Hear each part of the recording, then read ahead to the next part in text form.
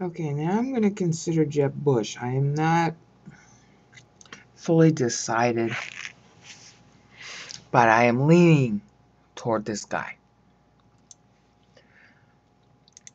First of all, there's a site here called 2016presidentialcandidates.org which is really kind of a master database of candidates and all kinds of stuff, primaries and caucuses. This is a really good site that you're going to want. So I'm going to put this in the video description. And the portal links are all up here. Okay, so this is going to be a place you're going to want to have permanently as your you know, website. It's got a lot of really important data on it no matter who you vote for. It's nonpartisan and this particular page, of course, is on Jeb. But the home page is here and here and here. All right. So that's going to be in the video description. This is Jeb's website, his actual website. And you'll notice it's a little nicer, the layout. Okay. You got, you start off with the header page, but See, you could do that to meet him. And this, to me, this tells me a whole lot about him. Is the way he's talking about. The first thing he talks about in meeting himself is his wife.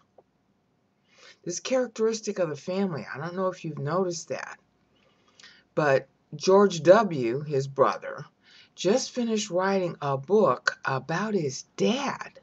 Not about his own presidency, but about his dad. And George W., Herbert Walker, the father, who I actually didn't like while he was president. I should have liked him better, but there's I'll explain why I didn't like him in a minute. He was always about his own wife, Barbara. These men are always looking at the other person. This is their, I don't know, maybe their mother raised them this way. And she doesn't really want Jeb to be running. Barbara Bush, his mother, does not really want him to be running. But there's something of um, calmness in this family. They're sort of like America's second royal family as it's turned out. I don't think they intended it this way, but that's how it's turned out.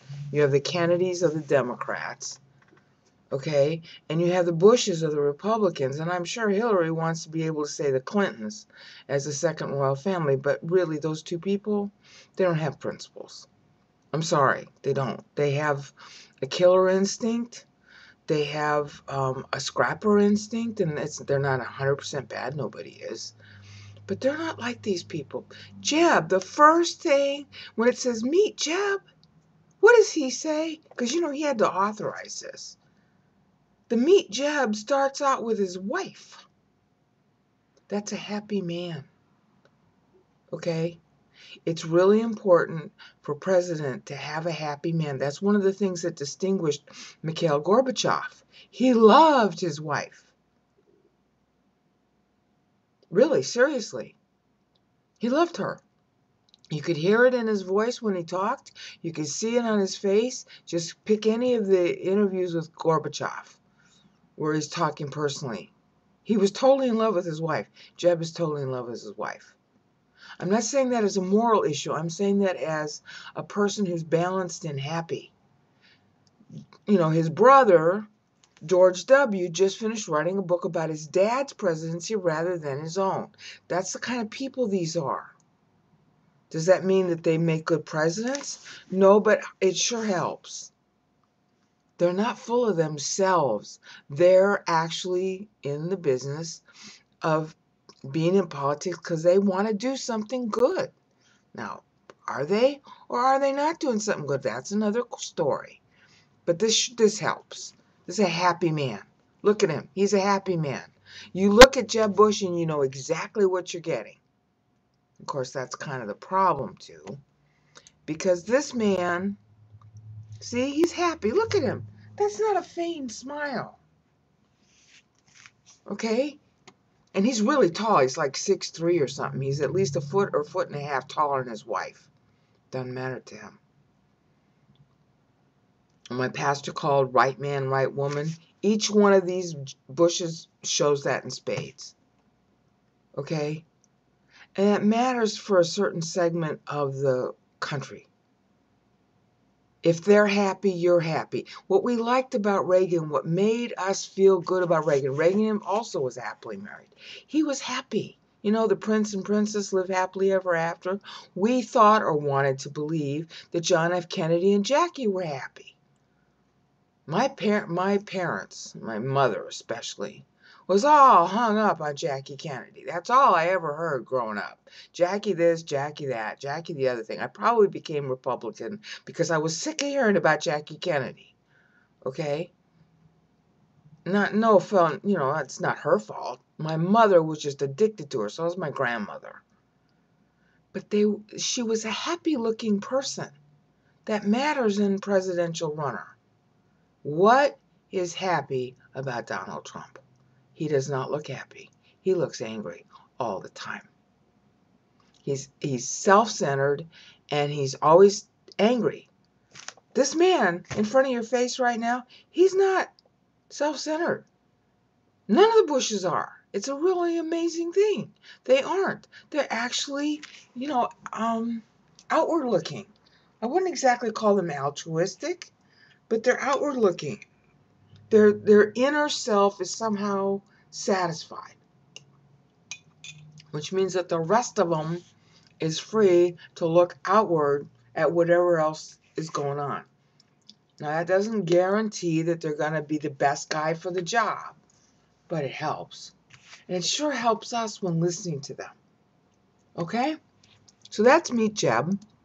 News, obviously, issues, reform and growth. I don't like this is a better designed website than Trump's or Cruz's. But it's got it's quirky, see? Because when you you you you put your finger on the selection, it darkens. That's not it. This should be this. The whole coloring is wrong. Okay, and I haven't I haven't overridden the colors. These are the natural colors. The only thing overridden is the font. I'm using my own Comic Sans font. Okay? This is not a really good organization. Like, for example, you have to go to Reform and Growth and Reforming Washington, and, and the tax policy for Jeb is split between these two. And I'm not going to cover his tax policy because really um, Donald Trump copied from him and Donald Trump copied from Cruz. So I've already covered Cruz and I've always covered Trump. Jeb's is a little bit different, but not enough to cover it separately. What distinguishes him is his defeating ISIS positions and his border security positions. And that's where I guess he's going to be talking about immigration. Okay? He's got certain issues on these other things too. I'm not sure I'm going to cover them because I don't want to how do I want to put this? I don't want to influence you on who to vote for. What I'm doing these videos for is not so much to say don't vote or do vote for these people, as much as I'm trying to show if you're a Christian thinking before God, what kind of thought process should you go through? Okay? Not necessarily like my conclusions are right, but you still see the process. Okay, and you can say I'm all wet and wrong for whatever reason you want. But we got to go through the process because this is a ruling, this is training in ruling. We're the real rulers. These guys really are servants in God's eyes. Julius Caesar was an unbeliever and he was a servant of God too. Cyrus, Cyrus the Great, he was a named servant of God before he was even born in Isaiah uh, specifically Isaiah 45. Cyrus wasn't even born yet, as far as I know, when Isaiah 45 was written. Okay, because Isaiah 53, which is a later chapter, was written in uh, approximately 714 um, BC. Isaiah's ministry began about 756, 753. 753 being the so called birth date of Rome which it really wasn't. It was 750, but that's beside the point. Okay, so here with Jeb, the big issue in his case is okay, well look, he's he's he's got he's got a decent organization here. Okay? And you can look up each of the items and decide for yourself what they should be. Now, the big problem with Jeb is because he's a happy man, he's not interested in promoting himself.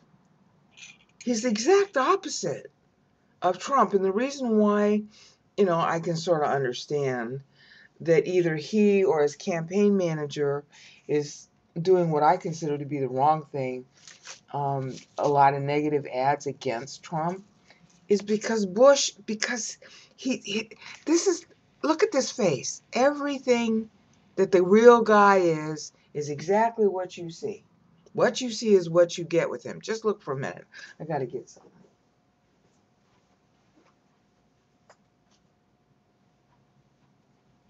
Use 1 John 1 9 when you view these candidates because God gives you an insight into the person. Okay, because you're electing a person for a job. Anything that he states as a policy now, the minute he gets into his job, is going to be different. It's just like you train for a certain occupation when you were in school. And then as soon as you get out of school and you get into the actual occupation, you find out, oh, half of what I learned in school is bogus. Yeah. So half of what their policies are aren't going to be what their policies are once they get in office. So the most important thing you can do is vote the person, not the party, although you kind of need to know something about that too. That will be a factor, but it's not primary. What's primary is the person. Okay, and he doesn't have to be a good person. You have to think, okay, like an employer, like a ruler, like a king, would I hire this person for this job? Because that's kingship training for you, no matter who you vote for. Okay, this guy, you just look at him and that's that's him. He's not capable of being a good liar. He's really not. His brother isn't either, and his father wasn't either. If they were fibbing, you could tell. And they didn't do it often, but they did do it on occasion. They just they wear their hearts and their whole thought patterns right in front of their face. To me, that's an important quality in president. The honesty of it, the openness of it, even when they're trying to be cagey. Because you know, see, it's not Slick Willie, okay? Although I don't think Clinton was quite as bad in some respects um, as I did initially. Okay, but anyway, you want to look at each of these individual things. And we're going to look right now at border security because I just finished doing the dump Trump on immigration and I closed by saying that Jeb Bush's policy was better. Okay. Now, this is a chatty Cathy style of explanation. That's the style he's adopted for all of his answers. So they're long answers. And that's kind of good. In other words, you're not just getting information that answers a question, you're getting the flavor of the person. And and the other thing that's kind of interesting is that it's very clear to me that he wrote his own stuff.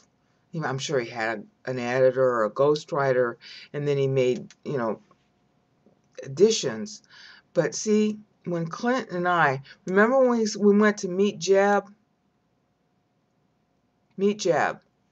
My life changed when I met my wife. Nobody wrote that for him. I mean, he might have had an editor or, you know, somebody looking at it and saying, hi, you want to change this a little bit. This isn't so clear. But that's him talking. That's Jeb.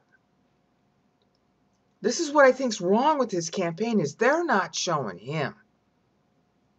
They're talking too much about Trump and and the competition. Just let Jeb talk. Well, but they're not doing that because the campaign manager's an idiot. So here's how you get that. You go to his website and you listen to him talk, and then you decide. Because he's really chatty Cathy here. This goes on and see he's got pictures of his family.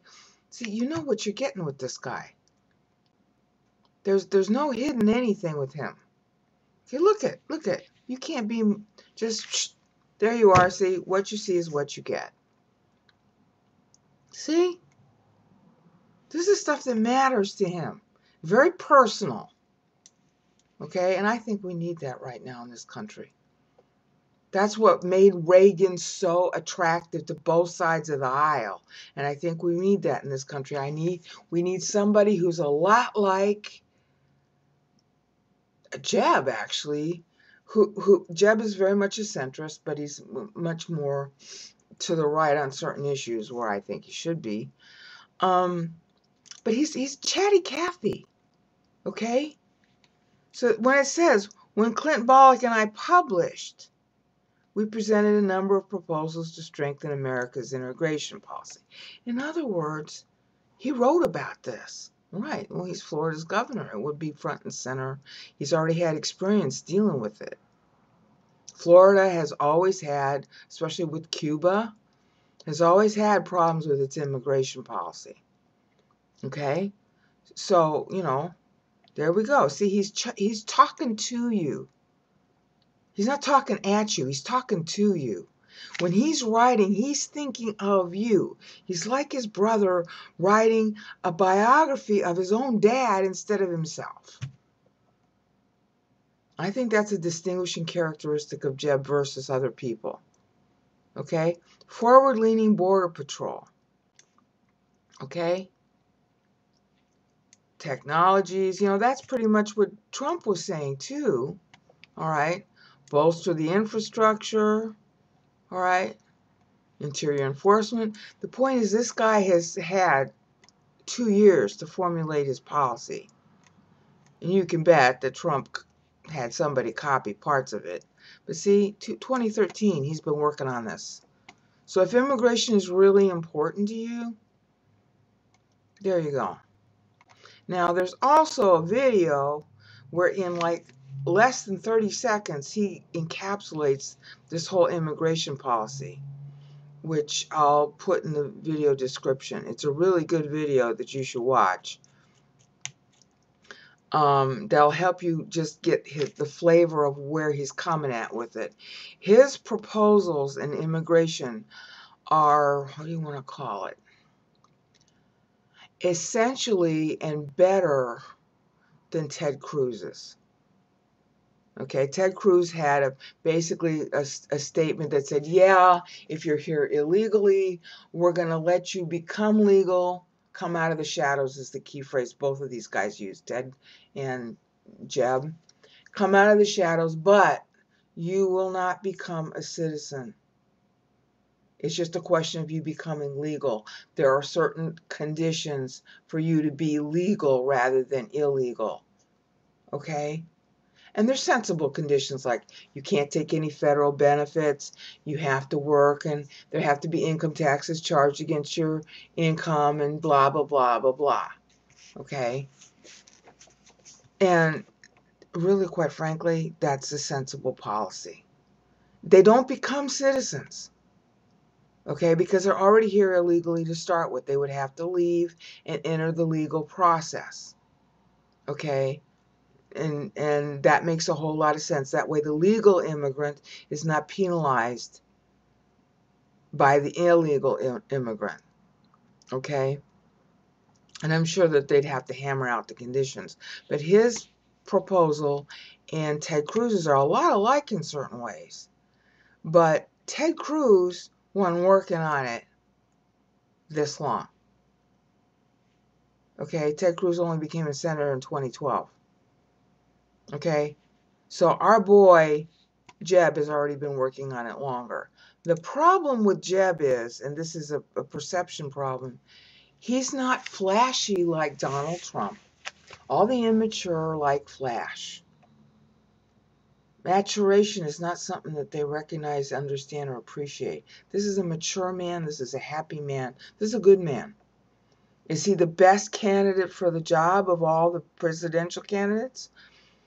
Well, that's for you to decide. One of the other things in his favor is he's a Bush. So you got Dad Bush. Of course, his dad is, is kind of ill now. And you got his brother. Now, his brother doesn't want to be in politics anymore, but his brother has a wealth of information and remembrance. And then you've got all the advisors of his brother that could help Jeb too. Those advisors are seasoned people on the same issues that Jeb would have to deal with if he were president. So it's like you have a ready made mix of people with the proper, what do you want to call it? Familiarity. I'm not going to say experience, I'm going to say familiarity. Familiarity matters in politics, it matters a great deal in foreign policy. If Jeb got elected and his advisors his advisors were, you know, cut of the same cloth or associated with his brother, then when they go overseas, it's like old home week for the people in power now.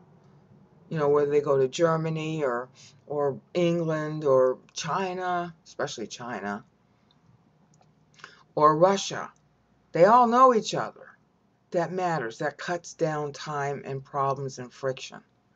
Because if you got new people, then there's always the getting your feet wet problem. Okay? Now, I don't know if all the advisors are going to want to, you know, stay in this again because it's very grueling to be, you know, in the executive office. It's a really a very big sacrifice for anybody to run for president now because we, the people, are so churlish. And the press, I hate the press just they're disgusting. Okay? This is a man making a sacrifice. He's very clearly, truly a happy man. And he takes a very personal approach to writing up his position. This is him writing, not, you know, some pundit or somebody just hired. It's not that he didn't have anybody clean it. And one of the things I really liked reading the most is his expression of how he would defeat ISIS.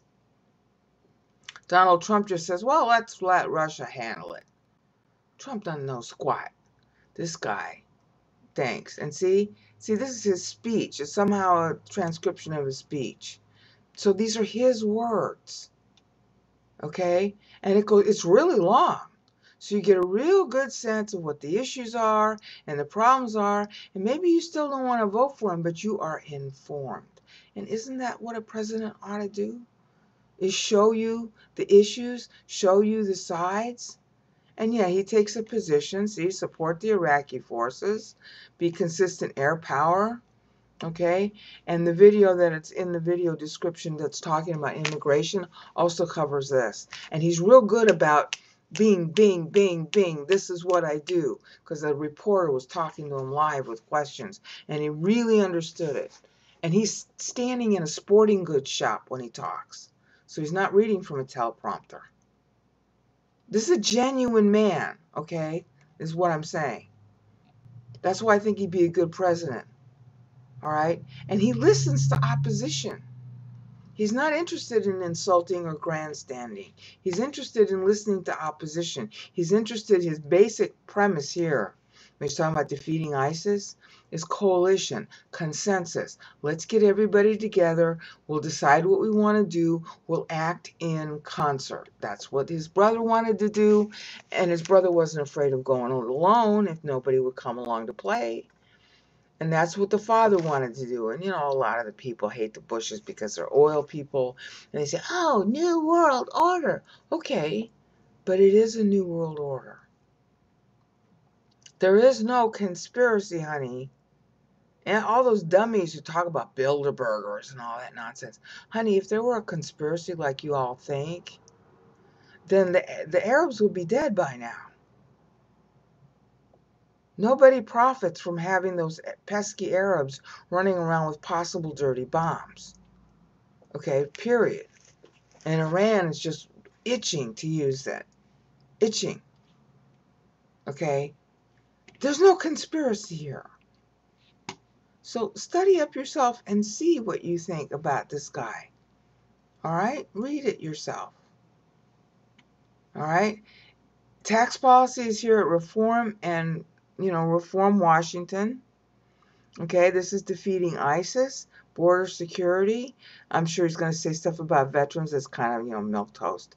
Regulatory reform, yeah, that's a biggie because government is so over regulating business that it's too expensive to work here. That's why they're shipping jobs overseas. It isn't really the taxes so much as the regulation. healthcare plan, he's going to appeal he's going to repeal Obamacare, which we should. Obamacare is a total disaster. And Donald Trump wants to just replace it with a different version of Obamacare. So kill Trump. Okay?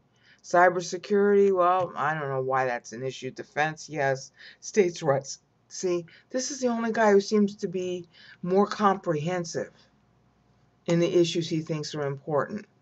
And then these are the states that are going to have the primaries. Here's how you can volunteer or shop. So I think that's all I'm going to say right now. The thing I wanted you to notice is that this is a very personable guy. He takes things personally. He's speaking in first person on his own site. He's his own man, so he's not like a slave to his brother's policies. Okay? He's his own guy, and he's got his own information. And if you look in the video description, again, that video that I've mentioned twice now, that video will show him talking.